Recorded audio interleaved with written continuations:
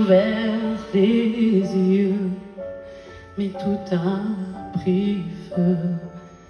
Et mes bras n'en plus que les cendres d'un amour voué.